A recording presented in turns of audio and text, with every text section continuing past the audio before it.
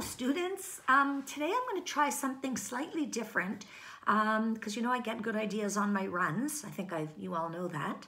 Um, so today I was thinking on my run how I could combine the stuff of nonsense class or mini class today with the writing for children class. And partly you guys gave me the idea because of your um, the nonsense students in one of the classes you've been posting really interesting memories about puberty um, so that makes me think about stories. Anyway, because um, for the Writing for Children class, um, one of the things I teach the students about Alice in Wonderland, Alice's Adventures in Wonderland, and some of you have taken that course too, the nonsense course, is that from my point of view, and I'm not the only one who thinks this, other scholars agree, that um, the book is really about puberty and not really about early childhood, which is what most people think about Alice. Okay, so the lesson I have for you today works for both classes, and I'll explain why.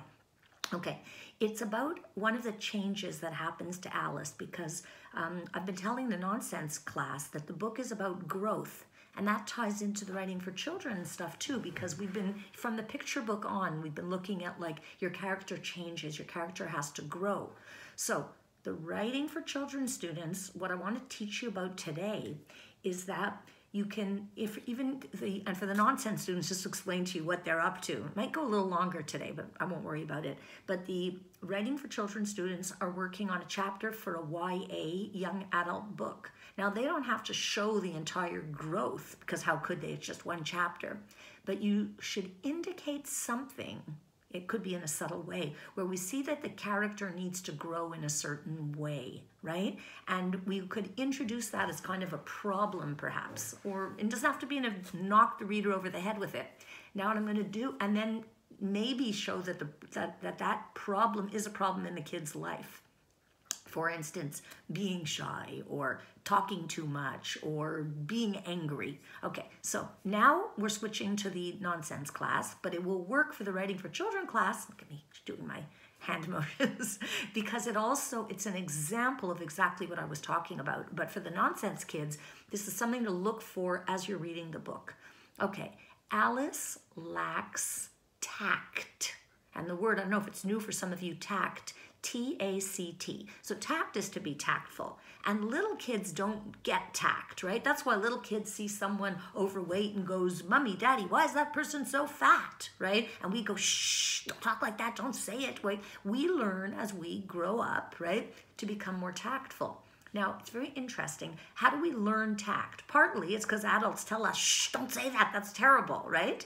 Um, we also learn through experience okay? And this came up also in the in the nonsense stuff that i was reading about puberty today right? Learning through the experience of others super interesting. Okay so how does alice become more tactful? And how do we know she isn't tactful? Okay and i'd say it's how she talks to the other animals right? Well she's not a she is an animal. She's at the top of the chain. She's human right? And for the Writing for Children course, there's a lot about Darwin and food chain, and in Alice, it's all over the place. Okay, so one of the things I'd like you to look at, and this is in, for those that have the book, right? But for, if you don't have the book, don't worry about it. But there's, there's more than one example of this in the book. But in chapter two, Alice is talking about uh, her cat, and she really did have a cat named Dinah.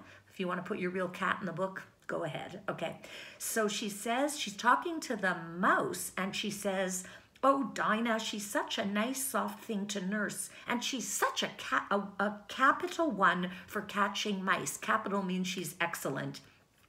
Oh, I beg your pardon, cried Alice, for this time the mouse was bristling all over, and she felt certain it must be really offended. Okay, so she she's offended the mouse by talking about how great right? Uh, her cat Dinah is at killing mice. It would be like me coming in on the first day of school and saying, you know, I'm amazing at failing students. You'd all be like the mouse, trembling, like, oh my God, I'm going to fail in her class. Anyway, don't worry, I'm not. Especially this semester. Do, do your work, you'll get through. Okay, so how does Alice grow and change? Okay? And it's an encounter that she has. She grows in sensitivity because she's going to meet a creature who's going to change her sense of herself, her identity. And when she first meets this creature, it's a big creature to her because she's very small, right? So are you figuring it out? And those of you in the writing for children class that took nonsense, you'll figured it out. It's a puppy. Okay, so you might want to take a look just as you're reading or rereading. Have I showed you how, how frayed my book is from the many times? I really should get a new book, but mind you, who knows? Uh, I like this one. Um, so this would be, I'll read you the little section with the puppy. I just want to tell you the chapter for when you're looking at it. So we're in chapter four. An enormous puppy was looking down at her with large round eyes, feebly stretching out one paw. Poor little thing, said Alice, because she's used to being big, so she still calls the puppy little thing, okay? She tried hard to whistle, but listen, she was terribly frightened all the time at the thought that it might be hungry, in which case it would be very likely to eat her up in spite of all her coaxing. So for the first time, Alice, even though she's a human, has to be afraid that she might be devoured, right? So let's say, you know, might be true for some of you, you were bullies. I hope you weren't, but probably a few of you were, right? You're either bullied, bullies, or the witness. But if you were the bully, you never had much sympathy for the kid that was bullied until the tables are turned and you are bullied, right? Um, thinking for me, like I've never had that much sympathy for students who, it's not nice of me to admit this, but I'm not that patient, right? So students have a lot of trouble with their, you know, thinking about a sentence or something. I'm like, come on, get it already, right? But I've taken a course logic when I was at university. It was like, oh my God, I had to guess the answers on the exam.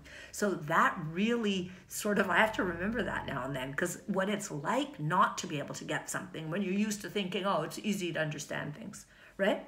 Okay, so uh, we went six minutes, 53 seconds. But hopefully this worked for both classes. And tomorrow, which is already, geez, it's already Thursday tomorrow. Or is it? I don't even know.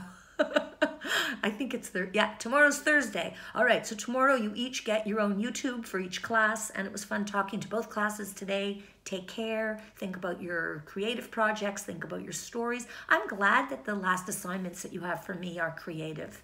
I consider that I'm contributing to your well-being in the universe. And thank you all for contributing to the well-being of the rest of us, right? And yourself. Thanks. Take care.